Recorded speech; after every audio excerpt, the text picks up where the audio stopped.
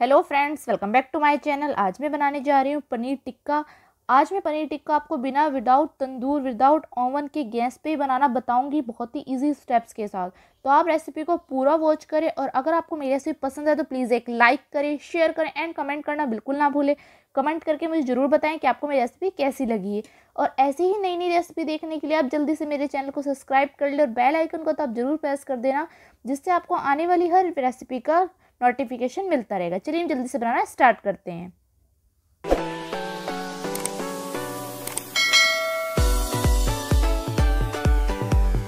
आप देख सकते हैं, मैंने यहाँ पर एक पैन ले लिया है। पैन में मैं ऐड कर रही हूँ three tablespoon of besan flour हम इसको बेसन को पहले अच्छे से रोस्ट कर लेते हैं, भून लेते हैं। टू टू थ्री मिनट ही हमें इनको भूनना है, ज़्यादा नहीं भूनना है। फ्लेम आपको लो रखनी है। जब इसमें अच्छी सी खुशबू आने लगे, तब आपको फ्लेम ऑफ़ कर देनी है। देखिए, इसमें कोई ऑयल वगैरह नहीं ऐड करना है ओनली इसको ड्राई हमें रोस्ट करना है। मैं यहाँ पर सिक्स टेबल स्पून ऑफ़ दही ले रही हूँ। जितना बेसन ले रही हूँ, उसका मैं डबल यहाँ पर दही ले रही हूँ।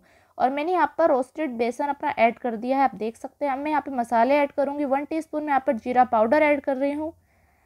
आप देख सकते हैं। और मैं यहाँ पर अब ऐड करने वाली हूँ। वन एंड हाफ़ कप मैं यहाँ पर गरम मसाला पाउडर ऐड कर रही हूँ। आप देख सकते हैं। हाफ़ टी स्पून में यहाँ पर ब्लैक पेपर पाउडर ऐड कर रही हूँ, काली मिर्च पाउडर ऐड कर रही हूँ और मैं यहाँ पर one teaspoon of Kashmiri red chilli powder add कर रही हूँ। मैं यहाँ पर half teaspoon of salt add कर रही हूँ। मैंने यहाँ पर वन टी स्पून ऑफ़, मैं यहाँ पर लेमन जूस ऐड कर रही हूँ, आप देख सकते हैं, वन लेमन का मैं जूस निकाल के ऐड कर रही हूँ। वो मैंने ऐड कर दिया है। और मैं यहाँ पर जो अब ऐड कर रही हूँ one pinch of red food colour add कर रही हूँ, ये टोटल ऑप्शनल है। अगर आपके पास अवेलेबल है तो आप ऐड कर लें, नहीं तो आप इसको स्किप भी कर सकते हैं। अब मैं, हम इसको अच्छे से मिक्स कर देंगे। हम इसमें कोई वाटर का यूज़ नहीं करेंगे। बिल्कुल भी हमें ये वाटर का यूज़ यहाँ पर नहीं करना है। और हमें जो दही है, वो पतला दही यहाँ पर नहीं यूज़ करना है, थोड़ा थिक दही हमें यहाँ पर यूज़ करना है।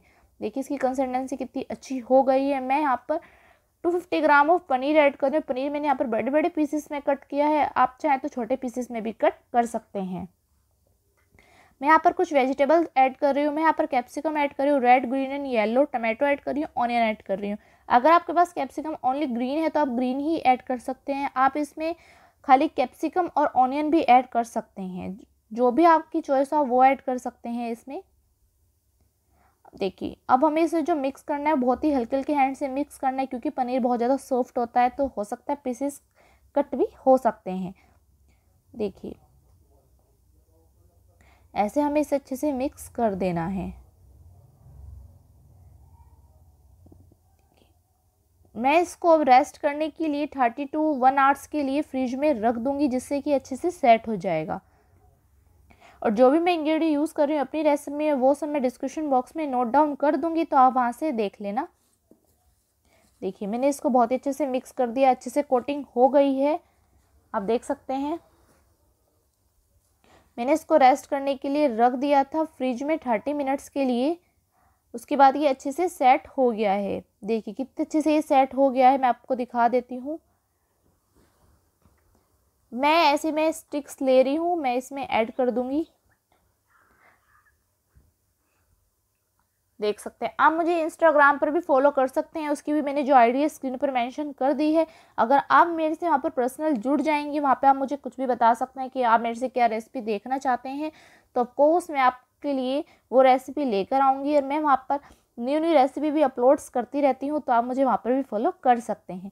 अगर आपका स्टिक्स नहीं है तो आप इसको डायरेक्ट तवे पर भी फ्राई करके बना सकते हैं। जैसे आप तवे पे थोड़ा सा ऑयल ऐड कर लें और उन पर आप इन्हें अच्छे से फ्राई कर लें।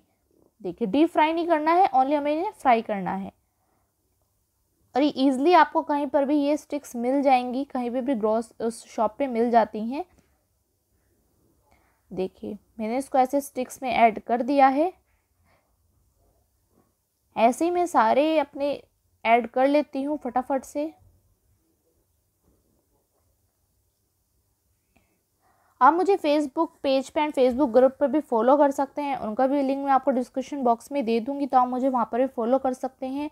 और मैं नई नई रेसिपीज़ आप लोगों के लिए अपने चैनल्स पर लाती रहती हूँ।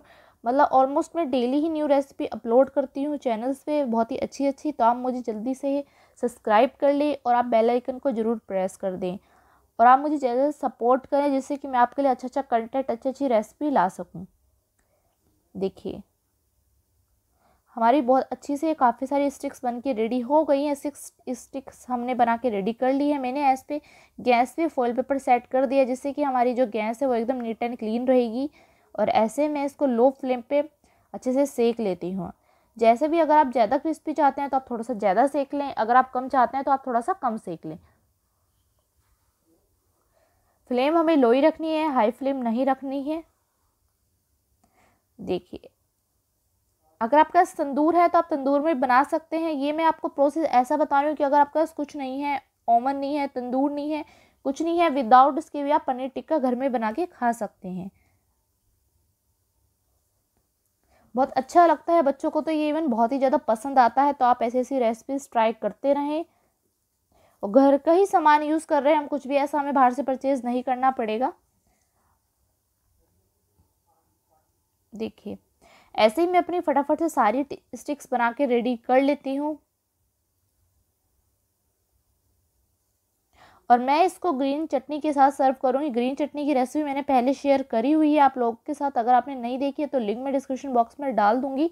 वो आप वहाँ से देख लेना। देखिए, सारी स्टिक्स ऐसे मैं फटाफट से बना के रेडी कर लेती हूँ। और आप मेरे से क्या रेसिपी देखना चाहते हैं प्लीज़ ये भी आप मुझे कमेंट डाउन करके बताएँ। ऑफ़ कोर्स मैं आपके लिए वो रेसिपी जल्दी से जल्दी लाने की कोशिश करूँगी। आप मेरे से और कोई वीडियो देखना चाहते हैं तो वो भी मैं आपके लिए लाने की कोशिश करूँ देखिए, कितनी अच्छी स्टिक्स हमारी बन के रेडी हुई मैं इसको अनियन के साथ और ग्रीन चटनी के साथ सर्व करा है तो जल्दी से मेरे चैनल को आप सब्सक्राइब कर ले बेल आइकन को प्रेस कर दो और वीडियो को ज़्यादा से लाइक करें। Thank you thanks for watching